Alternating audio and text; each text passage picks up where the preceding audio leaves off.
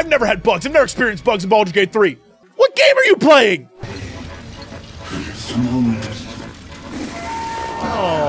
His arms are too tight and too low for a comfortable hug, as if he's meant to be embracing someone slightly shorter. He just can't. He just can't do it. Oh, thank you. Guys, give me a minute. Wait, what are they? yes, look into my mind. Are you ready to get effed up? Oh, all right. Well, it. I pressed spacebar and it deleted that scene. It also deleted me.